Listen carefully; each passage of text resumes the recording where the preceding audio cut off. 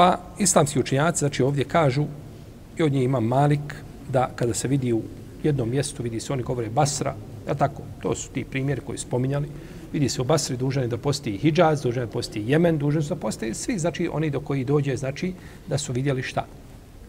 Da su vidjeli mlađak i nema sumnje da je ovo mišljenje, znači da ujedine muslimanski umet. Jer ne postoje danas na zemlji narodi ne postoje koji se više natječu u razjedinjavanju i cijepanju od muslimana. Hajmo se samo razjediniti. Hajmo da nas je samo što više razjedinjenih. jedan, iz jednog džemata nastane osam džemata. Jedan džemat je bio u osnovi, tako je starto. Nakon deset godina ima osam džemata. Tako se dijelimo, znači, po svim osnovama. A uzvišeni Allah od nas traži suprotno tome.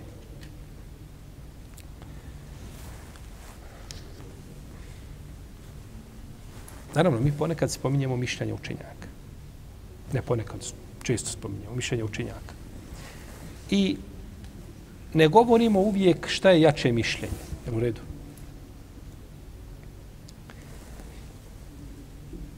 To je jedan vid greške. Međutim, znate li šta znači kazati jače mišljenje? Razišli se ima Malik i Šafija.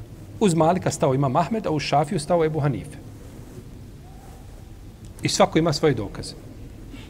I onda mi uletimo u to polje i kažemo, e, momci, imami naši, sad ćemo mi to vama poredati tako da mi to s tim završimo. Da se zna šta je istina i da se istina slijedi, dosta više razilaženja tih.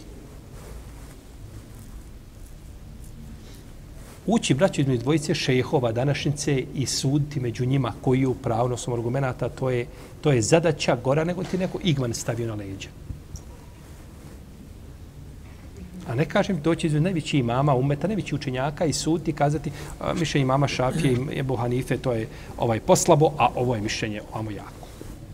To nije jednostavno. To je zadaća koju sebi čovjeka stavi na leđa, treba biti spreman da da odgovor pred uzvišenim Allahom zašto je tako rekao.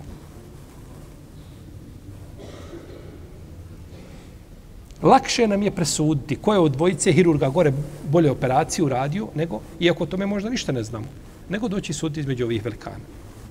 A sebi niko ne bi dao za pravo da, da, da sudi tamo, jer tako gdje nije stručan.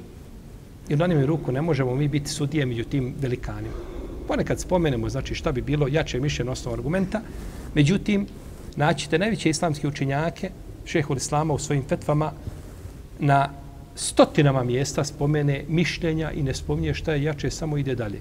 Kao da kaže, molim te, po, poštedi me toga. Poštedi me toga šta je jače, ja sam ti iznio, ja odam.